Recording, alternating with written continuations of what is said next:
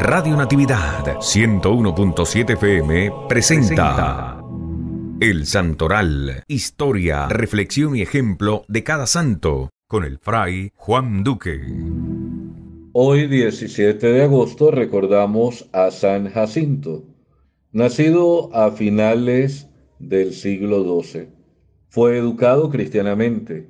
Ya sacerdote acompañó a su tío, obispo de Cracovia, a Roma de donde volverá fraile de la naciente orden de Santo Domingo.